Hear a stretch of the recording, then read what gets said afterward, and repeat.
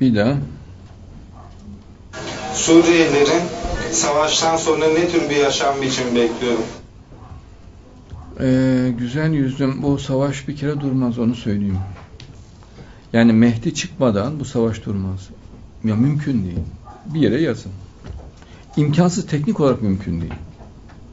Ya bu kadar çok ortaklı birçok kişinin talip olduğu bir coğrafyaya e, sükunet gelmesi mümkün değil. Gelmesi için sevgi insanın ortaya çıkıp herkes sevgiye davet edip dostluk ve arkadaşlık, kardeşliği orada ilan etmesi lazım. Herkesin birbirini sevmesi lazım. Grupların birbirine nefret ettiği bir ortamda, öldüresiye kin duyduğu bir ortamda barış diye bir şey olmaz. Çok zor.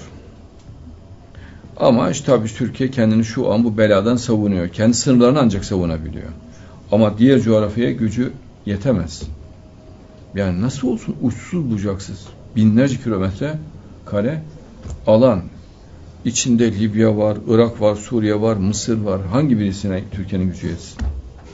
Ama İttihat-ı İslam'la, Mehdiyetle mesele kökünden çözüleceğini çocuk olsa anlar.